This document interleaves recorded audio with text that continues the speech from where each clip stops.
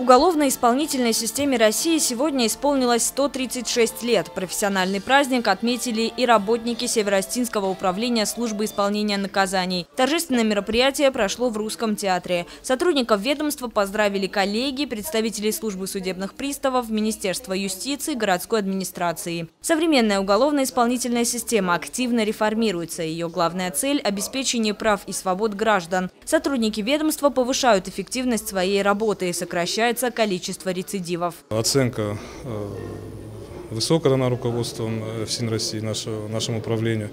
Э, в 2014 году у нас была инспекторская проверка.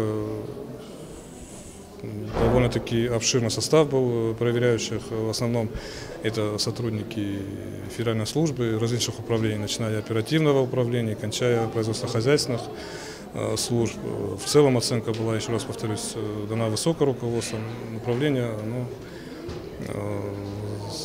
ну, сдала свои э, нормы на удовлетворительные.